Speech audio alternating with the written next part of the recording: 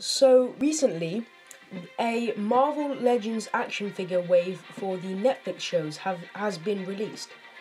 And it just so turns out that Blade has been put into that wave. Now, this video is just going to be me speculating about a possible Blade Netflix show. So, this Blade Marvel Legends figure has been put in a wave with Daredevil, Jessica Jones, The Punisher, and Elektra. Now, could this mean that we are getting a Blade TV series to join the Netflix gang?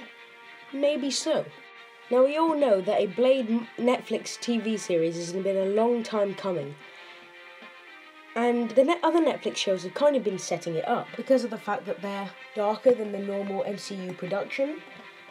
They are currently diving into the supernatural resurrection and kind of mummified area, which is kind of Blade's line of work.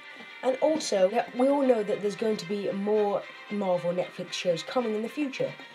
So, to be honest, Blade would be the perfect choice. So, I hope you guys enjoyed hearing my speculation. And if you have any comments or thoughts or theories that you would like to share, please let me know down in the comments.